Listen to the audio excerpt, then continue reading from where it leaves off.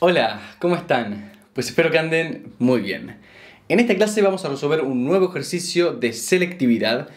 Este ejercicio lo he extraído de la Comunidad de Madrid y es un ejercicio de optimización. Dice lo siguiente, que determinemos dos números enteros positivos que sumen 25 de forma tal que el doble del cuadrado del primer número sumado al triple del cuadrado del segundo número de lo menor posible.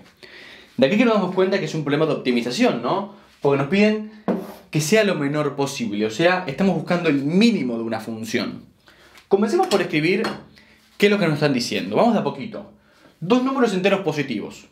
Pues llamémoslos x e y. Sabemos que tienen que ser positivos y enteros. Perfecto. Y de estos números se nos dice que suman 25. Esto es lo conocemos como restricción. Nos está restringiendo de alguna forma las posibilidades que tenemos al escoger x e y.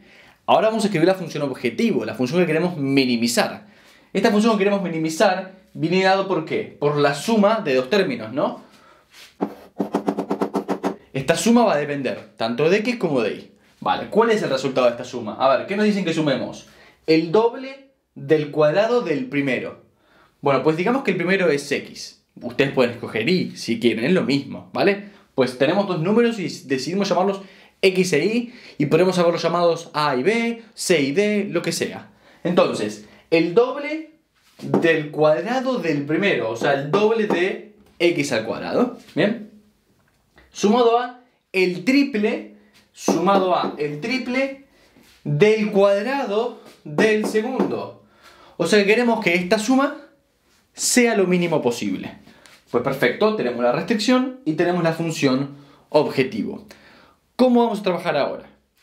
Porque queremos buscar el mínimo de una función, pero tenemos dos variables.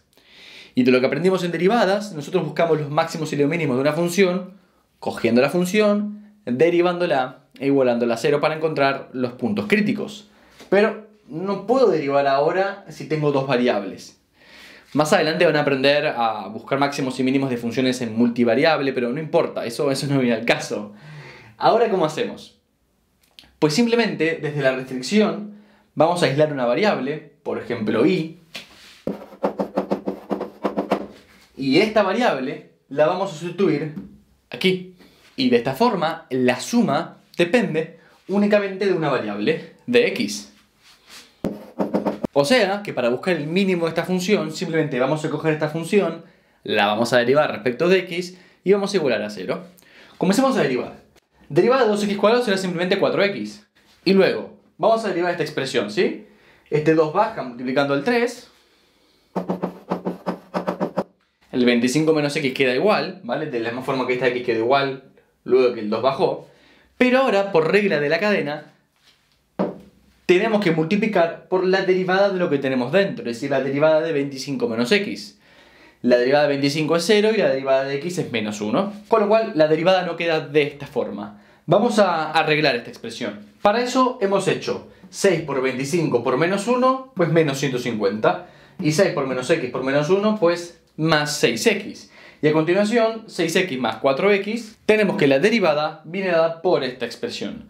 Ahora la igualamos a 0. Y nos queda que x debe ser igual a 10. Hemos encontrado el primero de los números. Y para encontrar el otro número, pues sabemos que la suma debe ser 25.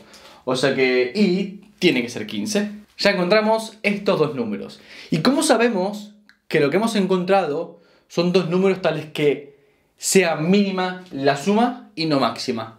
¿Cómo sabemos que se trata de un mínimo? Pues para estar seguros podemos clasificar este punto mediante el criterio de la primera derivada o el criterio de la segunda derivada. En este caso vamos al criterio de la segunda derivada pues porque la primera derivada es muy fácil de volver a derivar. Si la primera derivada es muy complicada y realmente no queremos meternos en derivarla de vuelta, pues utilizaríamos el criterio de la primera derivada. Pero fíjense que derivar esto es muy sencillo. La segunda derivada nos da 10. La segunda derivada nos da positiva. Por ende, lo que hemos encontrado nosotros efectivamente es un mínimo. Si la segunda derivada nos hubiese dado negativa para el valor de x 10, pues en ese caso diríamos que es un máximo. Una observación importante, fíjense que la segunda derivada en este caso no depende de x, es constante, ¿sí? Es positiva sin importar el valor de x que nosotros tengamos. Pero en el caso de que hubiésemos tenido, por ejemplo, algo así, hipotético, una vez que tengan la segunda derivada, lo que tienen que hacer ustedes es reemplazar el valor de x y luego ver si es un mínimo, en el caso de que nos dé positivo, o si es un máximo, en el caso de que nos dé negativo. En definitiva, estamos seguros de que lo que hemos encontrado son dos números tales que esta suma sea mínima y de esa forma acabamos con este ejercicio. Les recuerdo nuevamente que en la descripción del video y en el comentario fijado van a encontrar un enlace al calendario de clases en directo que vamos a estar dando en Gauss Online para acompañarlos con las dudas que puedan tener a lo largo de lo que es prepararse para la SELE. Así que recuerden que se pueden apuntar de forma totalmente gratuita y espero verlos allí. Nos vemos en el próximo video.